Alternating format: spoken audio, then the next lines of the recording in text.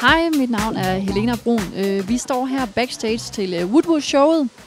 Øh, vi befinder os lige nu i Københavns klatrecenter Blocks and Walls. Jeg sidder her ved siden af Line Anstrøm, som er key nail artist fra Essie. Og Line vil fortælle os lidt mere om, hvilket look Essie har valgt til Woodwood-showet i dag. Vi, øh, vi laver sådan et look, man kalder det mesh, altså hvor det ligesom øh, kommer fra en mørkere tone ud i en lyser, og vi laver det øh, med et net, faktisk. Øh, sådan en lille net her, som I kan se. Så har vi farvet neglen først i den ønskede farve. Vi bruger den, der hedder Saint-Tropez. Øhm, og så tager man nettet henover. Og det kan også gøres med, hvad det hedder, hvis man vil noget blonde.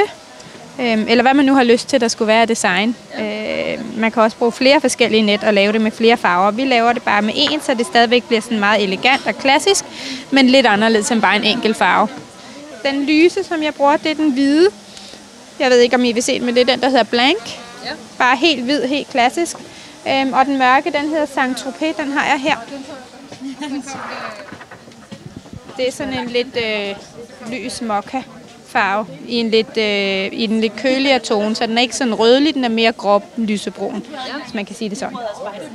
Øhm, så det er det. Så tager du bare lidt af din nejlak ud på et stykke papir. Du behøver ikke særlig meget, og så dypper du ned over. Det vigtige er bare, at du lige duber uden på papiret, så du ikke har for meget på. For har du for meget på, så bliver det, øhm, så ligesom det løber ind under nettet. Og så bliver det ikke så pænt.